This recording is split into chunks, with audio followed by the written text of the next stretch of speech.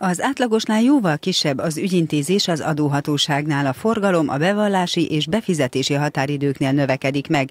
Január 1-től nem csak számos adózásra és kedvezményekre vonatkozó szabály változott meg, hanem a héten elkezdte az adóhatóság kiküldeni azokat a tájékoztatókat is, amelyek részletesen leírják az adózókat érintő változásokat, ebben azt is, amelyek a bevallásra vonatkoznak.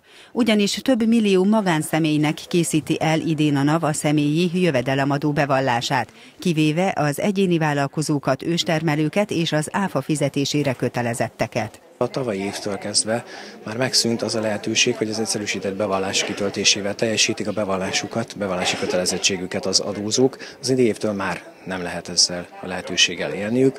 Azonban a családi kedvezményezettek is bekerültek az ESZIA tervezet körébe, tehát, hogyha valakinek családi kedvezményre jogosultsága van, igénybe is veszi, akkor az is szerepel majd ebben a tervezetben. szabolcs már Bereg megyében 220 ezer SZIA bevallást vár az adóhatóság. Most még nem tudják, hogy ebből mennyi magánszemélynek készítik el a bevallás tervezetet, hiszen van, ahol továbbra is a munkáltató végzi ezt a feladatot.